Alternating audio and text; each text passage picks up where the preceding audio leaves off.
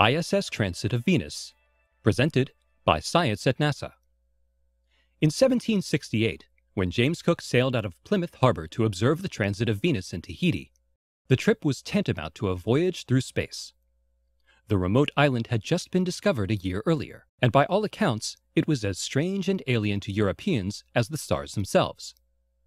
Cook's pinpoint navigation to Tahiti and his subsequent observations of Venus crossing the South Pacific Sun in 1769 have inspired explorers for centuries.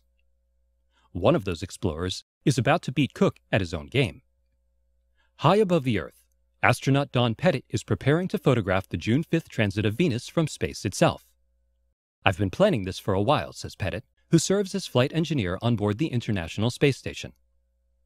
I knew the transit of Venus would occur during my rotation, so I brought a solar filter with me when my expedition blasted off for the ISS in December 2011.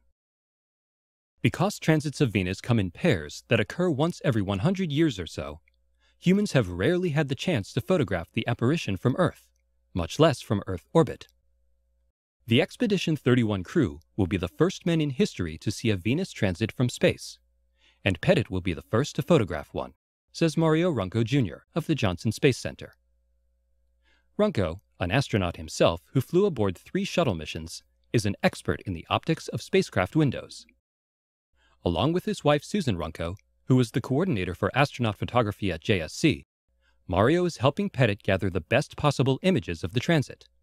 Pettit will be pointing his camera through the side windows of the space station's cupola, an ESA built observatory module that provides a wide angle view of Earth and the cosmos.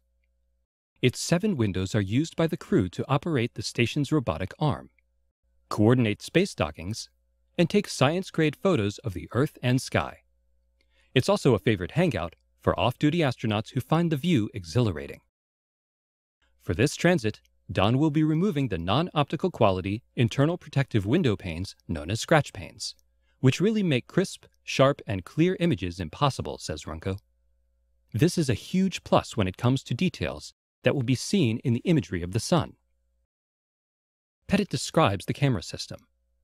I'll be using a high-end Nikon D2XS camera and a 1200mm lens with a full aperture white light solar filter.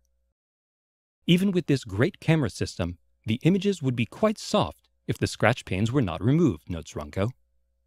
This is only the third time that we will be shooting through the cupola's optical quality windows. I am hoping this becomes routine in the future.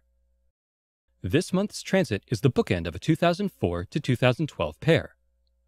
Astronauts were on board the ISS in 2004, but they did not see the transit mainly because they did not have solar filters on board.